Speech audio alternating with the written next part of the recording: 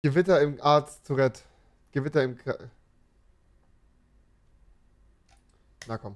Hallo Leute, herzlich willkommen zu einem neuen Video hier auf unserem Kanal. Wir sind heute nach Essen gefahren und zwar werden wir hier mit einem weiteren Video unser Format Zeig dein Gesicht fortsetzen. Ich will, dass äh, Basti GAG sein Gesicht zeigt. Dazu haben wir jetzt auch ganz neu einen neuen Insta-Account erstellt. Der zeigt, heißt ebenfalls Zeig dein Gesicht. Könnt ihr Warum sieht Jan mit dem Outfit aus wie so ein Nachrichtenreporter, der irgendein sexuelles Strafvergehen gemacht hat? uns sehr gerne äh, schreiben, wenn äh, ihr ebenfalls eine interessante Geschichte oder ein besonderes Krankheitsbild habt, was ihr mit uns näher thematisieren wollt. Heute sind wir zu Besuch bei der Stella.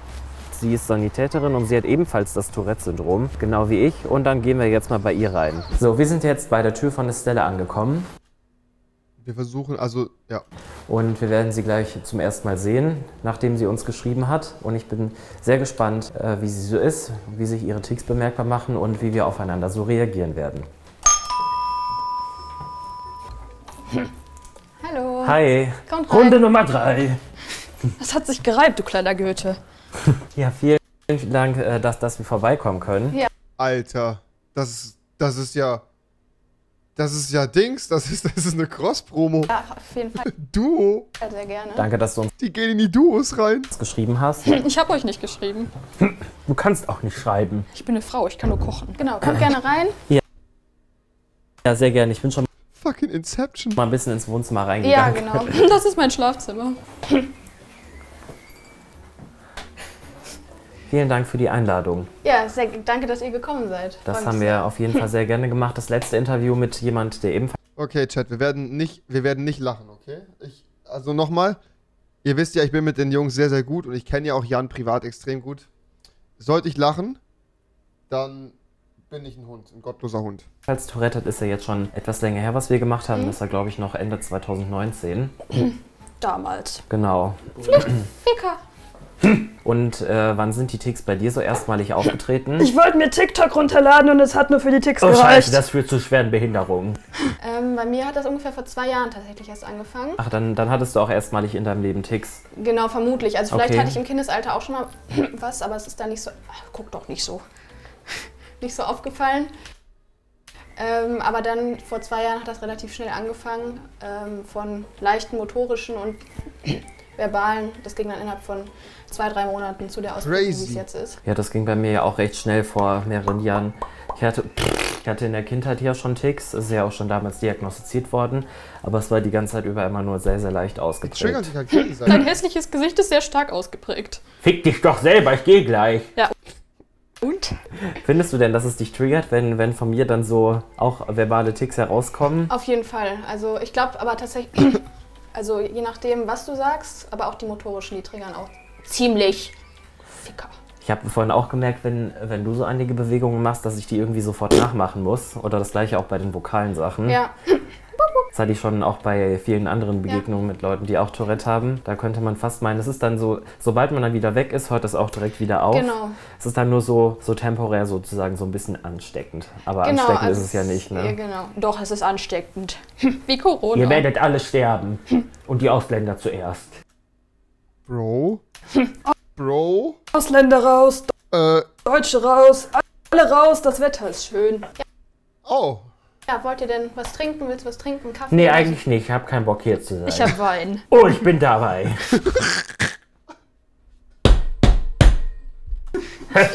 ja, sehr gerne. Dann komm noch mit in die Küche. Alter. Petition. Tim aus dem Kanal raus, sie rein. Nein, Spaß. Sehr gerne. Das hier ist nicht gestellt. Das ist sehr, sehr authentisch, wie alles bei uns. Sehr froh, dass wir nicht RTL sind. Dann mache ich jetzt mal einen Kaffee. Sehr gerne. Das ist sehr lieb von dir. Und du bist ja vom Beruf her ähm, Rettungssanitäterin, ne? Genau, also ich mache das neben dem Studium. Ich studiere eigentlich Medizin. Ach, krass, okay. Beruflich quasi. Crazy nice. Und arbeite noch im Rettungsdienst nebenbei. Crazy, das ist sehr cool. Und ähm, seit wann bist du schon im Rettungsdienst tätig? Also hast du da angefangen, bevor die Ticks äh, erstmalig herauskamen oder ähm, hast, ist das auch erst, während du dort warst, so herausgekommen? Äh, nee, tatsächlich arbeite ich da schon seit 2015 und 2019 war 2019 war es ja dann, als die Ticks angefangen haben. Ähm, ich war jetzt auch ein halbes Jahr quasi nicht auf der Wache, weil ich erst ganz viele Attester ausfüllen musste und Verkehrsmedizin, verkehrsmedizinische Prüfungen machen musste und alles. Ähm, aber jetzt darf ich wieder fahren. Naja, das kommt mir irgendwie ein bisschen bekannt Ja, vor. genau. Man muss ja immer alles, dass man einmal nachweist, dass man keine Gefährdung für die Menschheit ist. Ja, das stimmt. So in der, in der Art muss ich das auch nachweisen, nachweisen bei mir, vor allem durch die Epilepsie. Und ähm, genau, so, so, so in der Art. Gibt es denn in deinem alltäglichen Leben zu Hause irgendwelche Sachen, die dich irgendwie stören oder beeinträchtigen durch die Ticks? Also wenn ich alleine bin, eigentlich nicht. Da habe ich auch so gut wie keine Ticks. Halt die Fresse. Keine Ticks. Wo es natürlich anstrengend ist, wenn ich irgendwie in der Uni mal einen Vortrag halten muss oder irgendwie generell ein Seminar habe oder unter vielen Leuten bin, dann ist es halt super anstrengend, weil man dann natürlich irgendwie immer im Mittelpunkt steht. Also ich bin ja selber kein Student, aber Ach ähm, so. ja, ich bin dumm. Der aber auch, kommt von der Sonderschule. Und wenn du da dann, so stelle ich mir das vor, in einem Hörsaal sitzt, wo so ganz, ganz viele andere Studenten noch sind, ist es denn da vorgekommen, dass sich jemand mal gestört hat durch vokale Ticks von dir? Ähm, ich glaube ja, aber ich, da das dann so eine Masse an Menschen ist, konnte man das nie so wirklich zuordnen, wer das jetzt genau gefickt gemacht hat. TikTok! ähm, deswegen, Probleme habe ich damit zum Glück noch nie bekommen. Ja, das ist sehr gut. Aber deine Dozenten sind auch sehr verständnisvoll. Genau, ich gehe meist dann vorher hin und sage einmal Bescheid, dass die wissen, dass falls irgendwie jetzt mal doch irgendwas um doch irgendwas rauskommt, dass man sich nicht wundert. Grundsätzlich waren da bisher alle sehr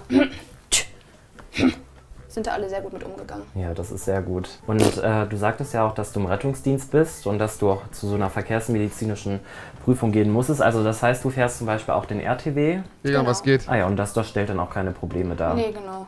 Also das geht tatsächlich, Autofahren geht sehr, sehr gut. Das ist eigentlich sogar sehr angenehm für mich, weil ich da keine Ticks bei habe. ähm,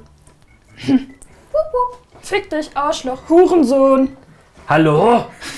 jetzt musst du es aber mal raus. Ja. Jetzt, jetzt, es ist dann für, für mich auch immer sehr interessant, weil ich dann weiß, wie sich wohl so meine Gegenüber immer Ja. so, so ein bisschen fühlen. Also Autofahren und RTW-Fahren geht ohne Probleme, weil ich dann halt natürlich konzentriert bin, habe ich auch keine Ticks. Wie viele hast du schon totgefahren? Drei. Oh, Junge. Drei. Wie ist das mit der Polizei? Triggert die dich auch? Tatsächlich nicht so. Ach, tatsächlich Ja. nicht. Also es geht. Kommt immer drauf an, wenn ich gerade in so einem richtigen ähm, Tick-Wahn bin quasi und sehr, sehr viele Ticks habe, dann triggern die mich auch. Ähm, aber grundsätzlich jetzt nicht. Bullenfotze. Genau, die Polizei triggert mich ja zum Beispiel mega. Also es ist ja auch immer überall bei jedem unterschiedlich. Ist bei Tim aber auch so. Also Tim mittlerweile, wenn der die Polizei sieht, rastet er auch richtig auf und schlägt immer drauf. Ja. Hast du irgendwelche Punkte in der Küche, die dich triggern? Also, Ja, ihr drei. Lazy Louis was vorgekommen, geht, Digga? Dass du irgendwelche Teller geworfen hast oder Mit so? Das Letzter. gar keine Probleme. Ähm, 24 wenn Monate. Sachen Soll ich dir beibringen? Es macht Spaß. Ja. Gesucht und gefunden, Alter. Wenn äh, Sachen auf Tellern drauf sind, dann möchte ich die gerne runterschmeißen oder sowas oder draufhauen. Das machst du ja, glaube ich, auch sehr gerne. Ja, vor allem, wenn man eigentlich unterbewusst weiß, dass dadurch richtig viel Sauerei entsteht. So Genau. Kuchen, Tomaten, Eier. Tomaten, Eier, Butter, Mehl. Ja, Butter, Käse. Ich bin Captain zur See, ich habe das Patent ABC und die 6. Ich glaube, das ist der beste Dreh, wie ich hatte. Ich sag's wirklich ehrlich. Ich glaube, wir beide Digga, die Meme-Quoten die ganze Zeit. haben die gleiche Doku über die Reeperbahn geguckt. ich kann das glaube sein? auch, das kann... Nein. Doch, das kann ich mir sehr gut Wir vorstellen. lieben Ja. es. Triggerpunkte im Alltag, wie ist es beim Einkaufen? Ähm, ja, ich rufe sehr, sehr gerne. Ich klau gerade. wenn ich Was kaufst du denn ein? Oh oh. Oh nein! Du es nicht in meine Reichweite. Oh? Äh, Es geht tatsächlich. Also, beziehungsweise, ich merke schon, die triggern mich schon, aber es ist sehr, sehr wenig. Deswegen kann ich das eigentlich immer zurückhalten. Sind denn hier drinnen schon mal welche geflogen? Nee, zum Glück noch nicht. Und das ist bei mir unzählige Male Oh. vorgekommen. Genau, in der alten Wohnung, da war dann über so gelbe Flecken. Musste ich Gelbe. Flecken. Nee, genau. Ähm, beim Einkaufen, ich rufe halt gern mal, äh, ja, ich klau gerade. Ach, das mache ich auch. Ich mach das auch, aber ich klau dann wirklich. Ich bin noch nicht 18, wenn ich Alkohol kaufe oder sowas. Also, ähm, oder einfach mal irgendwas. Ich bin an diesem Moment ehrlich und sage, ich brauche das, ich werde sonst nicht wach. Ich bin nicht ehrlich. Ich bin Stella. Aber es geht. Also, ich hab, Oh, Junge, Alter.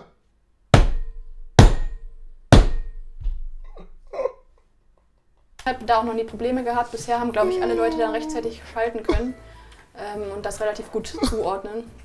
Kannst du schalten oder lieber Automatik? Ich bin eine Frau, ich gehöre in die Küche. Oh. Ob, als ob du da guten Content rausbekommst. Ich glaube nicht. Wir sind Gewillt am Kopf, da gibt's sowas nicht. Du kriegst eine rosa Tasse, weil du schwul bist. Immerhin kriege ich eine Tasse, Tim hat keine. Der hat nicht mehr alle Tassen im Schrank. Ja, vielen Dank für den Kaffee. Das hast du schon gesagt. Wann können die bitte eine Show im Fernsehen bekommen? Ich weiß, aber ich muss doch mal sagen. Wollen wir vielleicht ins Wohnzimmer rübergehen? Sehr gerne. Das hast du schon mal gefragt.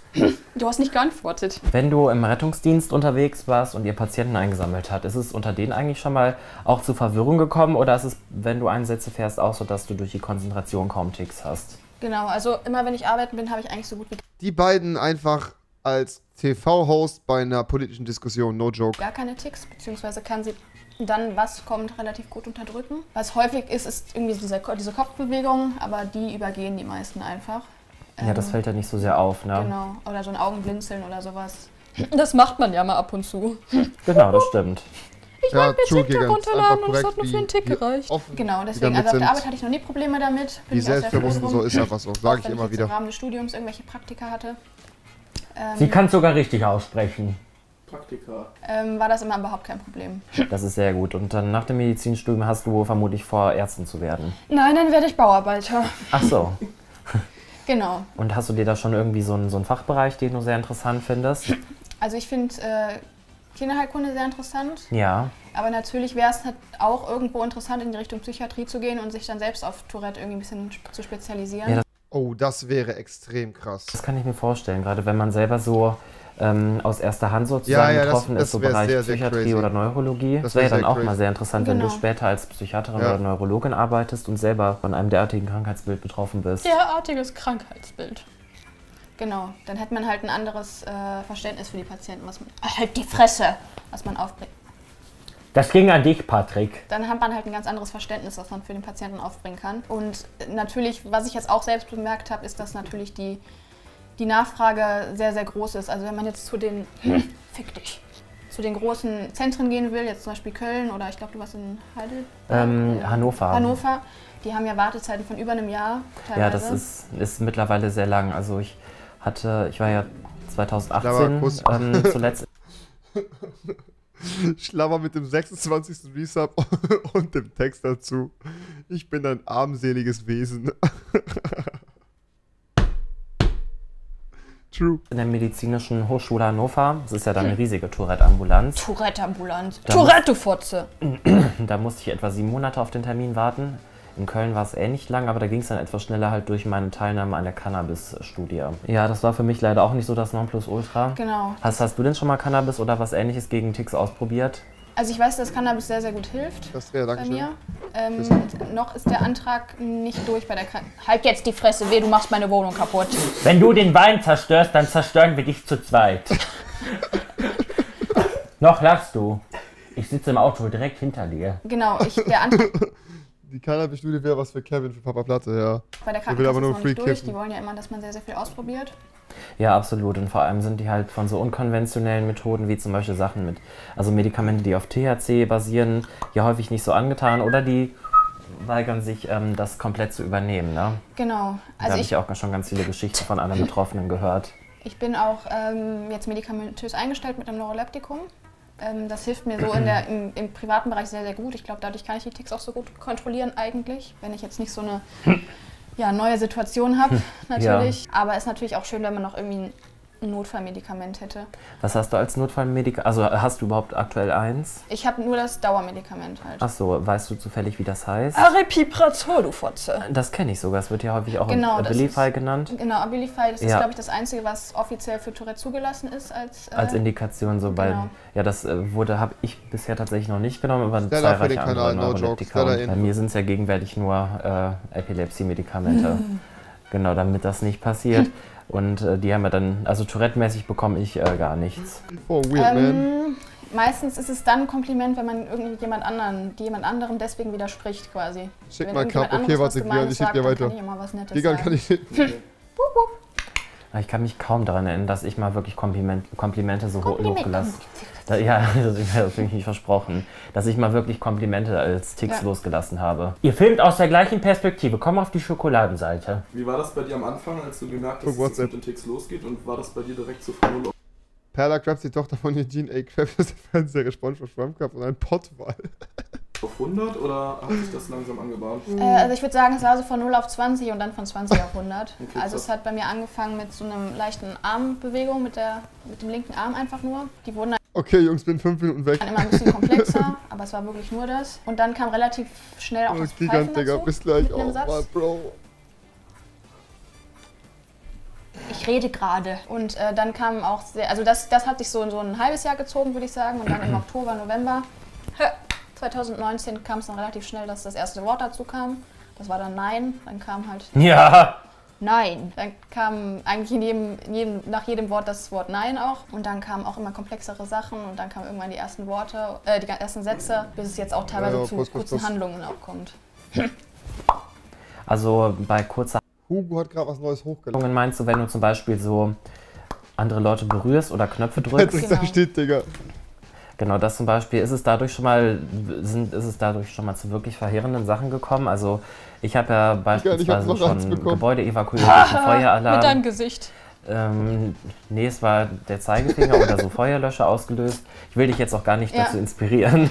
Nee, ähm, die Sachen triggern mich schon, aber ich kann es eigentlich unterdrücken. Wenn ich, also Thema Alkohol, wenn ich da ein bisschen was getrunken habe, ist es schwieriger. Das kann ich nicht unterdrücken. Ähm, Also das Trinken versteht sich. ähm, da müssen mich meine Freunde dann teilweise auch weghalten von sowas. Ähm, ich habe keine Freunde. Das sind alles Kollegen. Ähm, aber so im, im normalen Zustand, sage ich mal, habe ich da glücklicherweise noch keine schlechte, schlechten Erfahrungen mitgemacht. Ach ja, Gott sei Dank. Ja, die beiden mussten mich im Flug gerade auch zurückhalten. Ich habe nämlich da Ich euren Stromkasten Ja, ja, geöffnet. ja, ja, ja. Meinen. Und wie haben die darauf reagiert, als das so losging? Also grundsätzlich muss ich sagen, dass ich da echt, echt gute Freunde habe. Ich habe keine Freunde. Also, die Bilder im Hintergrund finde ich extrem schlimm. Ja, du nicht. Ich schon. Also sie sind alle super mit umgegangen. Für meine Familie war das natürlich sehr, sehr komisch. Also gerade meine du Mutter checkst schon mal Server, hat oder? sich da auch unglaublich Sorgen gemacht natürlich. Ich glaube, das kennst du ja auch vom Anfang dann vielleicht noch. Ja, Das, man weiß natürlich nicht, was es ist und es ist nicht wirklich greifbar. Fick dich. Arschloch, Hurensohn. Ähm, aber es haben sich relativ schnell alle dran gewöhnt. Als dann ausgeschlossen war, dass es jetzt nichts Schlimmes ist, also als dann ein Bild Ja, ist auch chill, no joke. Die beiden alle- gehen ja sehr, sehr entspannt damit Ich um. habe heute leider kein Foto für dich. Alle Untersuchungen auch abgeschlossen waren, dass es nichts, nichts Schlimmes ist. Ich kann es dir euch sagen, in Private, wie gesagt, Jan, einer der korrektesten Leute überhaupt. So entspannt, immer super unterhaltend, immer super, super korrekt, man. Und ich glaube, bei ihr ist es eins zu eins das gleiche. Big Shoutout zu den beiden, einfach äh, extrem, extrem nice, no joke. sondern nur Tourette. also du meinst mit Bild vom Kopf so ein MRT vom Gehirn dann? Genau, genau. Ja, dass, das da ich auch. kein, dass da kein Tumor zahlreich, irgendwie jetzt äh, oder eine, eine Hirnhautentzündung Und jetzt Tim- nicht Tim ist ein die auslösende Ursache ist. Oh, langweilig, kein Tumor. Leider kein Dauerpatient. Dein Gesicht sieht auch aus wie ein Tumor. Haben die Ähm, denn, als sie den MRT, also dieses Bild vom Gehirn gemacht haben, vorher gesagt, dass sie dich jetzt auf den Tumor untersuchen möchten? Oder haben die das einfach so gemacht? das haben die einfach so gemacht, aber ich wusste es natürlich durch meine Vorkenntnisse Ach so. quasi. Okay, sie Ja, studiert gut. Bei Medizin. mir haben sie es nämlich nicht gesagt. Ich glaube, um mich nicht in Panik zu versetzen. Hilfe! Aber das, ähm. Aua! Aua! Das macht die Rote, wenn der Tim in ihrer Nähe ist. Digga, dass das immer noch ein Running Gag ist. Scheiße, Mann, ich habe echt das Gefühl, dass ich für viele dieser öffentlichen Ticks ein Stück weit mitverantwortlich gewesen bin. Zum Beispiel, dass ich halt dieses Die Rote im Bootshaus und das Thema auf Rothaarige steht, mit Jan gemeinsam so gemimt habe. Und ich finde, es ist Zeit, nochmal ein paar neue äh, Geschichten gegen Tim herauszukramen aus der Clip, Clip, Clap, Clubkiste. Ich glaube, ich habe gerade einen fucking Stroke, man. Ähm. Du bist die Rote. Ah, Plot Twist. Nein. äh, Spoiler. der, der MRT von meinem Kopf wurde nach dem ersten Anfall gemacht. Die haben noch ganz Ah, viele okay. hintereinander gemacht. Und dann Tim hat Mrs. Puff. wurde mir im Nachhinein gesagt, dass ein Tumor ausgeschlossen werden kann. Hat Mrs. Puff nicht rote Haare? Nee, hat die nicht. Ja, das wird Tim nicht bumsen. Und ähm, da war ich erstmal überrascht, weil ich wusste gar nicht, dass ich darauf untersucht Scheiß werde. Privatpatienten! Tja, ich bin halt eine Stufe über dir. Genau, also beim MRT muss man natürlich auch gucken, dass man Mein Krankenhauszimmer sieht aus wie ein Hotelzimmer und deins? Wie ein Bordell. war natürlich auch schwierig, dann die Untersuchung zu machen. Also ich musste dann auch Nee. sediert werden, also ein bisschen ruhig gestellt Oh werden. ja, bei mir auch immer. damit man halt vernünftige Aufnahmen bekommt. Das sind dann halt so Kleinigkeiten, die man vorher nicht kannte. Ähm, also sonst, ich habe vorher auch schon mal ein MRT vom Kopf bekommen. Digga, ich auch, weil früher, ähm, weil ich früher äh, bei- beim ADS haben die mein Gehirn auch gescannt. Aber da ging das halt normal. Aber jetzt kann ich halt nicht äh, Ball. Garantieren, dass ich ruhig liegen. Kartoffel! Dass ich ruhig liegen bleibe Und deswegen äh, muss man da halt mit medikamentöser Hilfe dran gehen. Ja, das, das kommt mir auch so bekannt vor. Also mit Sedieren ist so eine leichte Betäubung ja gemeint. Und ich hatte in der Zeit, wo meine Ticks sehr schwach waren, Ich auch schon häufiger Röntgen, Röntgenaufnahmen, zum Beispiel von beiden Knien auch. Ähm, und genau, sowohl da als auch die andere Seite. geht auch niemals wirklich und weg. Da hat das Weiß immer ich noch gar ohne nicht. Ich glaub, Sedierung das kann geklappt. auch Beim Heilung ersten Mal dann, wo ich ne? dann vor allem starke motorische Ticks hatte und dann der MRT vom Kopf gemacht wurde, musste ich auch die ganze Zeit stillhalten. Und der erste Versuch dann der Mitarbeiter in der Klinik war es, mich mit so Gurten festzumachen. Das hat es aber eher nur noch schlimmer gemacht und dann kriege ich seitdem für jeden MRT und für jeden Röntgen ähm, eine, so eine, also eine Sedierung halt und das ist eine leichte Narkose. Genau. Und ja, das ist dann natürlich immer ein riesiger Aufwand, äh, vor allem auch, weil selbstverständlich so eine Narkose für die Krankenversicherung nicht billig ist. Meine Krankenversicherung hat dann auch erstmal gesagt, Moment mal, normalerweise braucht man für ein Röntgen keine Vollnarkose. Und dann musste ich da noch dieses und jenes Attest nachreichen, bis sie das auch übernommen haben, weil da ist man dann schnell schon mal mit mehreren hundert Euro dabei. Ja. Ne? Hattest du denn in deinem Freundeskreis, als es stärker wurde, welche, die sich dann tatsächlich angefangen haben, so zu, sich von dir zu distanzieren? Nee, tatsächlich gar nicht. Ah, das ist sehr gut. Also äh, sind alle wirklich super damit Ich hab mich- umgegangen. Also ich habe mich von Tim distanziert, äh, von Gewitter im Kopf, weil er so langweilig ist. Könnt ihr aufhören zu reden? Ich glaub das ja wohl. Ist es denn schon mal vorgekommen, irgendwie zu ja, äh, besonderen oder peinlichen äh, Begegnungen mit deinen Nachbarn, weil denen das aufgefallen ist? Oder weil du denen irgendwas, sag ich mal, zugerufen hast? Nein, zum Glück noch nicht. Also ich glaube, wenn wurde es sehr Ja, gekonnt wohin? gespielt. Ah Oder, ja. äh, Also du meinst, dann haben die so getan, als ob sie es nicht gehört hätten? Genau. Bewegung! Wie ist das beim Essen gehen? Es ist jetzt natürlich sehr schwierig aktuell, weil äh, das jetzt sehr lange nicht, nicht möglich war. Aber die meisten Kellner gucken schon ein bisschen komisch. Also wenn man da irgendwie Unfug macht, sage ich jetzt mal. Hallo! Fragt mich, was er gerade gesagt hat. Ähm, also als bei dir erstmalig von die Rede von der Diagnose Tourette-Syndrom war, wie war denn zu dem Zeitpunkt so dein Tourette, du Fotze! Wie war denn zu dem Zeitpunkt so dein Wissensstand über, über das Thema Tourette-Syndrom? Also ich, ich wusste, dass es das gibt. Es aber ist eine Stadt in Japan. Tourette de Mer! ähm, ich wusste, dass es das gibt, aber ich hatte halt selbst noch nie wirklich Berührungs... Sorry, sorry, sorry, sorry, sorry, sorry, sorry. Gib mir einen kleinen Moment, Chat, bitte. Ich mach sofort alles wieder richtig, Chat, bitte. Danke. Punkte damit. Ja, Ich kenne halt persönlich auch keinen, der das hat. ja, es war bei mir auch so am Anfang. Das hat. Ein Tripper. Da kenne ich welche. Äh, aber ich sag mal, lustigerweise war das jetzt ziemlich genau die Zeit, wo ihr auch angefangen habt mit YouTube, meine ich. Anfang Ja, 2019. Genau, im Februar 2019 haben wir den gegründet und das war so etwa die Zeit, wo das bei dir mit den starken Ticks losging. Genau, also äh, Ach, krass. Äh, genau, das war sehr, sehr ähnlich. Und da hat mich eine Fre- Freundin irgendwann darauf hingewiesen, so ja, kennst du die? Und dann habe ich mir die Videos halt angeguckt. Ich kenne sie nicht. Und äh, ja, dann hat man natürlich irgendwie schon mal eine andere Aufklärung. über- dann war, über- wurde ich quasi überkorrekt, schon mal dass die vorbereitet auf da das, was so- noch so kommen würde, connected auch wenn ich es noch nicht wusste, dass es noch kommen würde. Ja gut, das ist natürlich auch Das nie abzusehen, nice. wie sich das entwickelt, da die Ticks ja häufig auch von, jeden, von Tag zu Tag schwanken. Auf jeden Fall. Also sind manchmal Kartoffel. stärker, manchmal weniger stark, finde ich. Und bei mir änd- ändert sich das Inhaltliche eben auch sehr, sehr oft. Ja, auf jeden Fall. Kartoffel. Würdest du es denn auch in Erwägung zu ziehen, eventuell mal eine Tourette-Ambulanz aufzusuchen für eine äh, genaue Diagnose? Ich war tatsächlich in Köln in der Tourette-Ambulanz. Ach ja, okay. Da musste ich jetzt anderthalb, warte, anderthalb Jahre auf den Termin warten. Ja, das kann tatsächlich sein, dann dass da. die so lang sind. Genau. Ähm, die haben die Diagnose quasi nur noch mal bestätigt. Ja, bei mir auch. Also äh, mein behandelnder Arzt ist tatsächlich auch ähm, der ehemalige Leiter der Tourette-Ambulanz in Köln. Ja. Der ist jetzt äh, hier in der Nähe Chefarzt. Weißt du zufällig, wie der heißt? Äh, das ist der Professor Kuhn. Achso, nee, den, den kenne ich nicht. Dann war ich da bei jemand anders. Also hat mich jetzt nur Ja. so selber interessiert. Oha, Bro, der Razer Genau, Kuss, der ist jetzt Dankeschön, halt hier in der Digga. Nähe äh, als Chefarzt und hat Ja. sich dann mir angenommen. Digga, what der hat mir auch fuck, das man? Abilify dann verschrieben. Und hat mir Stromschläge gegeben. Chili, Digga. Nein, das Aua. Oh, hat er nicht gemacht. Bro. Das Kuss, hätte mich Kuss, auch sehr gewundert. Kuss, Kuss, Kuss, Kuss, Kuss, Ähm, genau, und Dank. dadurch war ich eigentlich von Anfang an glücklicherweise echt, echt gut versorgt, was 25 das angeht. Ich glaube, das geht subs, auch my anders. man, he crazy Krank- then. Krankung, äh, Krankheit. Ja, das stimmt. Du hast ja vorhin erwähnt, dass du dich zum Beispiel durch die Polizei nicht so sehr getriggert fühlst. Mhm. Und äh, vorhin Alarm! vorbeigehen hast du ja ein paar Klingeln gedrückt. Mhm. Was wären denn so, so Sachen, die deine Ticks so besonders stark triggern? Äh, also Knöpfe und Klingeln und sowas auf jeden Fall, weil gerade was das Motorische angeht. Manches, manchmal sind es manche Wörter, die dann immer einen Ja, bestimmten das habe ich Tick auch. hera- heraufbeschwören, sage ich mal. Hallo! Ähm, sonst ist es tatsächlich eher tagesformabhängig als äh, Bro, vielen, vielen Ja. Dank. Von den Triggerfaktoren. Natürlich, je mehr Leute da sind, desto mehr Ticks habe ich auch. Oder desto lauter es wird.